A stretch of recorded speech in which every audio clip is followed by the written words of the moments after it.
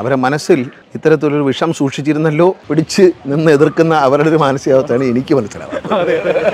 അതിലാണ് കലയുടെ അടയാളം തൊഴിൽ വെളുപ്പല്ല. പിന്നെ ഡാൻസ് ചെയ്ത് എന്ന നർത്തകനാണ് തീരുമാനിക്കുന്നത്. ഒരാൾ വെളുപ്പായിട്ട് ജനിക്കുന്ന അപേക്ഷ കൊടുത്തിട്ടാണ്. ഒരാൾ കറുപ്പായിട്ട് ജനിക്കുന്ന അപേക്ഷ കൊടുത്തിട്ടല്ല. മലയാളത്തിലെ ഏറ്റവും നല്ലൊരു നടനാണ് എനിക്ക് ഇഷ്ടമുള്ളൊരു നടനാണ് ഹരീശ്രീ അശോക്. അദ്ദേഹം പാലൂരിരിക്കുവാന്നോ അല്ലല്ലോ. വെളുത്തിരുന്ന അധികം വെളുക്കുന്നത് നല്ലതല്ല. അയാൾക്ക് ഇഷ്ടം നൃത്തമാണ്.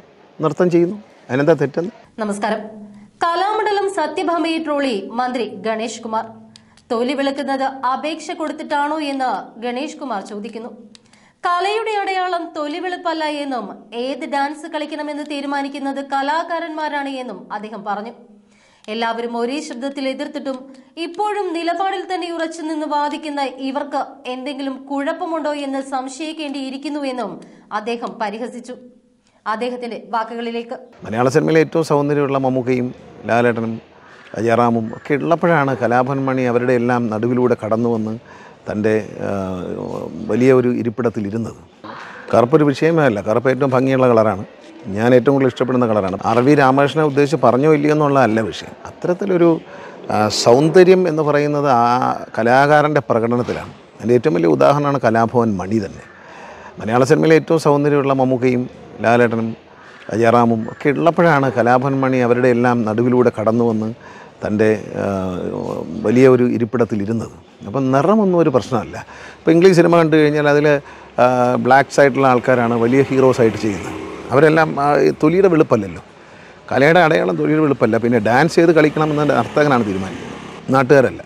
അതിനോടൊന്നും എനിക്ക് യോജിക്കാൻ കഴിയത്തില്ല. വളരെ ദൗർഭാഗ്യകരമായി പോയി വളരെ സീനിയറായിട്ടുള്ള കലാകാരിയാണ്. അവരെ മനസ്സിൽ ഇത്തരത്തിലൊരു വിഷം സൂക്ഷിച്ചിരുന്നല്ലോ എന്നാലോചിക്കുമ്പോഴാണ് നമുക്ക് വിഷമം വരുന്നത്. ഈ കലാകാരനും കലാകാരിക്കും ജാതിയില്ല. മതമില്ല. ഞാൻ മുമ്പും പറഞ്ഞിട്ടുണ്ട്. മതമില്ല നിറമില്ല. കഴിവ് മാത്രമേ ഉള്ളൂ. ആ കഴിവുണ്ടോ? നമ്മൾ അവരെ ആദരിക്കും അവരെ. ഇവിടെ എല്ലാവരും കേരളത്തിലെ ആളുകൾ ആരുടെയെങ്കിലും രാഷ്ട്രീയമോ അല്ലെങ്കിൽ ജാതിയോ മതമോ നോക്കിയിട്ടാണോ സിനിമ കാണാൻ പോകുന്നത് അല്ലെങ്കിൽ നാടകം കാണാൻ പോകുന്നത് അപ്പോൾ ആ കലാകാരന്മാരുടെ കലാകാരികളുടെ മനസ്സിൽ ഒരിക്കലും ഇത്തരം ഒരു വർണവിവേചനത്തിന്റെ ഒരു ഇതാണ്. ജാതി ചിന്ത പോട്ടെ. വർണവിവേചനം പോലും പാടില്ല. കറുപ്പ് വെളുപ്പെന്ന് പറയുന്നത് സത്യൻ ഏറ്റവും കറുപ്പുള്ള നടനായിരുന്നു. മലയാളം കണ്ട ഏറ്റവും വലിയ അഭിനയത്തിന്റെ കിരീടം ചൂടി സിംഹാസനത്തിരുന്ന് ഇന്ന് നമ്മളെ രണ്ട് അഭിനയ ചക്രവർത്തി എന്ന് പറഞ്ഞാൽ സത്യനാണ്. അദ്ദേഹം നല്ല കറുപ്പായിരുന്നു. രജനീകാന്ത് ഇന്ത്യയിൽ ഏറ്റവും ഒറ്റ ഒരാളെ ബേസ് ചെയ്ത് സിനിമ എടുക്കുകയും ഏറ്റവും കൂടുതൽ റെമുണറേഷൻ വാങ്ങുകയും ലാഭം ഉണ്ടാക്കുകയും ചെയ്യുന്ന രചന. ചൈനയിൽ പോലും ആരാധകരുള്ള ജപ്പാനിൽ പോലും ആരാധകരുള്ള രജനീകാന്ത് നല്ല കറുപ്പാണ്. വിജയകാന്ത്.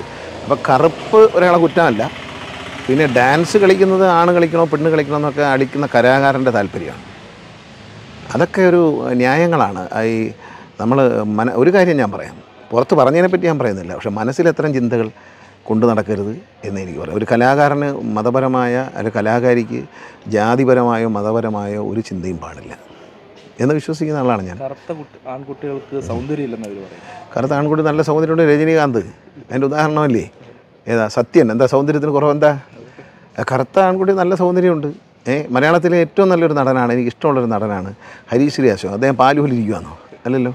അദ്ദേഹത്തിന്റെ മകൻ ഇപ്പം വളരെ പ്രോമിസീവ് ആയിട്ടുള്ളൊരു ഒരു ചെറുപ്പക്കാരനാണ്. ഈ തലമുറയിൽ വന്നതിൽ ഏറ്റവും നല്ലൊരു നടനാണ്. നമ്മളിപ്പോൾ ഭ്രമ യുഗമൊക്കെ കണ്ടു. എത്ര മനോഹരമായി. മമ്മൂട്ടിയെ പോലൊരു വലിയ നടനോടൊപ്പം ഒരു മഹാനടനോടൊപ്പം അഭിനയിക്കുമ്പോൾ ആ പ്രകടനം ആ അത് കാണുമ്പോൾ മനസ്സിലായി. അയാളെ വെളുത്തിരിക്കണം. വെളുത്തിരുന്നുകൊണ്ട് കാര്യമൊന്നുമില്ല. വെളുത്തിരുന്ന അധികം വെളുക്കുന്നത് നല്ലതല്ല. ഇച്ചിരി ഒരു കറുപ്പൊക്കെ ഉണ്ടെങ്കിൽ നമുക്കൊരു ഭംഗിയുള്ളൂ. മലയാളി ഒരു അല്പം വെളുത്ത് പാൽ പോലത്തെ മലയാളികൾ വളരെ കുറവല്ലേ? അതുകൊണ്ട് വെളുപ്പും കുറ്റമല്ല കറുപ്പും കുറ്റമല്ല. പിന്നെ ഈ ഒരാൾ വെളുപ്പായിട്ട് ജനിക്കുന്ന അപേക്ഷ കൊടുത്തിട്ടാണ്. അല്ലല്ലോ. ഒരാൾ കറുപ്പായിട്ട് ജനിക്കുന്ന അപേക്ഷ കൊടുത്തിട്ടല്ല. അപ്പോൾ അതുകൊണ്ട് ഒരു വീട്ടിൽ തന്നെ മൂത്ത ആൾ കറുപ്പായിരുന്നെങ്കിൽ ഇളയാൾ വെളുപ്പായിരിക്കും. എന്റെ വീട്ടിൽ പോലും അതുണ്ടായിരുന്നു. പറഞ്ഞു കഴിഞ്ഞാൽ ഇവർ തന്നെ ഈ കറുത്ത കുട്ടികളുടെ നിന്ന് ഫീസ് വാങ്ങിച്ചിട്ട് ഇവർ പഠിപ്പിക്കുന്നുണ്ട്. അതൊന്നും കുഴപ്പമില്ല. അതൊക്കെ അവനവന് ഈ മനസ്സിന്റെ ഉള്ളിൽ എന്താണെന്ന് തിരിച്ചറിഞ്ഞ് കറുത്ത നിറമുള്ള കുട്ടികൾ വേഗം വേറെ എങ്ങോട്ടെങ്കിലും പോവുക. കാരണം അത്. നമ്മളെ ടീച്ചർക്ക് നമ്മളെ ഇഷ്ടമല്ല എന്ന് അവർ തന്നെ പറഞ്ഞല്ലോ. പക്ഷേ ഇതിനെ സമൂഹം കേരളം ഒന്നടങ്ങി എതിർത്തു. അവിടെയാണ് നമ്മുടെ എന്നിട്ടും പിടിച്ച് നിന്ന് എതിർക്കുന്ന അവരുടെ ഒരു മാനസികാവസ്ഥയാണ് എനിക്ക് മനസ്സിലാവുന്നത്. അതിലാണ് ഞാൻ അത്ഭുതപ്പെടുന്നത്. എന്താ കുഴപ്പം എന്ന് ഞാൻ ചോദിക്കുന്നത്. എന്താണ് കുഴപ്പം? അതെ അതെ. അത് കാണുമ്പോഴാണ് എന്താണ് കുഴപ്പമെന്ന് പറഞ്ഞതിലൊന്നുമല്ല ഇതെന്താണ് കുഴപ്പം എന്ന് എനിക്ക് ക്ഷമിക്കണം അവരോടെന്നാണ് എനിക്ക് തോന്നിയിട്ടുള്ളത്.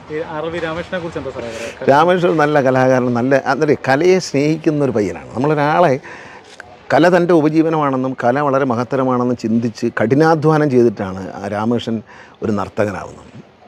കലാഭവൻ മണി നമ്മൾ ജീവിക്കാൻ വേണ്ടി ഓട്ടോറിക്ഷ ഓടുന്ന മണി ഒരു വലിയ കലാകാരനാണ്. അയാളുടെ ജീവിതത്തിലെ സ്വപ്നം എന്ന് പറഞ്ഞാൽ ഒരാൾ കലാകാരനാവണമെന്നോ അല്ലെങ്കിൽ കലാകാരിയാണെന്നോ സ്വപ്നം കാണുമ്പോൾ കുറ്റം പറയാൻ പറ്റുമോ? അത് മഹത്തരമായ ഒരു തപസ്യാണ് കാരണം വളരെ സാമ്പത്തികമായി പിന്നോക്കം നിൽക്കുന്ന ഒരു സമൂഹത്തിൽ ഒരു ഒരു കുടുംബത്തിൽ നിന്നും വന്ന രാമകൃഷ്ണൻ അറബി കോളേജിൽ പഠിച്ച് കഠിനാധ്വാനം ചെയ്തിട്ടാണ് അദ്ദേഹം സ്റ്റേജിൽ പെർഫോം ചെയ്യുന്നത്. ഇതൊരു സൈഡ് ബിസിനസ് അല്ലല്ലോ അദ്ദേഹത്തിന്. അദ്ദേഹത്തിന് സൈഡ് ബിസിനസ് അല്ല ഇത്. അദ്ദേഹം കയ്യിൽ സ്വർണം വളയും സ്വർണമാലയൊന്നുമില്ല. വലിയ വീടൊന്നുമില്ല. പക്ഷേ ഒരു കലാകാരനെ കലയോടുള്ള സ്നേഹം കൊണ്ട് അയാൾ അയാൾക്ക് ഇഷ്ടം നൃത്തമാണ്. നൃത്തം ചെയ്യുന്നു. അതിനെന്താ തെറ്റെന്ന്? ചെയ്യട്ടെന്നേ ഇങ്ങനെയുള്ളവരെ സമൂഹം എതിർക്കും. എതിർത്തോണ്ടിരിക്കുകയില്ലേ? നമ്മളായിട്ട് എതിർക്കാൻ അവർക്ക് നിയമ നടപടിയൊന്നുമില്ല. അവർക്ക് ഇത് ഇത്രയും കേട്ടിട്ട് അവർക്ക് ഒരു ഒരു മകനെ പോലെ കാണാൻ എന്തുകൊണ്ട് കഴിയുന്നില്ല? ഈ രാമകൃഷ്ണൻ ആയിക്കോട്ടെ ആരോ ആയിട്ടെ കറുത്ത നിറത്തിലുള്ള ഒരു മകൻ എനിക്ക് ജനിച്ചെങ്കിലോ എന്ന് ചിന്തിക്കാത്ത ഞാനങ്ങ് ഭയങ്കര വെളുത്തുപോയി എന്റെ മക്കളൊക്കെ വെളുത്തിരിക്കുന്നുള്ള ഒരു കറുത്ത മകൻ ഉണ്ടായിരുന്നെങ്കിൽ ഇത് പറയൂ. അത് പറയില്ല. അപ്പോൾ ആ ഒരു അമ്മ എന്നുള്ള വാത്സല്യമെങ്കിലും ആ ഒരു കൺസർഷനെങ്കിലും കൊടുക്കണം. ഞാൻ അങ്ങനെയാണ് കാരണം എന്റെ കുഞ്ഞുങ്ങളെ പ്രായത്തിലുള്ളവരെ കണ്ട ഞാൻ എന്റെ മകനായി എന്റെ മകളായി തന്നെ കാണും. വേണ്ടിയിരുന്നില്ല ഒരു തരത്തിലും അംഗീകരിക്കാൻ പറ്റാത്ത കാര്യമാണ്. ഒരമ്മയ്ക്ക് കറുത്ത മക്കളും വെളുത്ത മക്കളും തമ്മിൽ വ്യത്യാസമില്ല. അതുകൊണ്ട് തീർച്ചയായിട്ടും ടീച്ചർ ഒരു അമ്മയാകട്ടെ എന്ന് ഞാൻ അമ്മയുടെ മനസ്സ് ലഭിക്കട്ടെ ടീച്ചർക്കെന്ന് പ്രാർത്ഥിക്കുന്നു.